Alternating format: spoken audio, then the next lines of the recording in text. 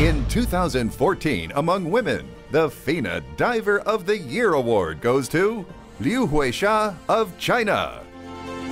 Queen of the Platform, Liu Huixia won the World Cup in 10 meter synchro with Chen Ruolin and finished second in the individual event.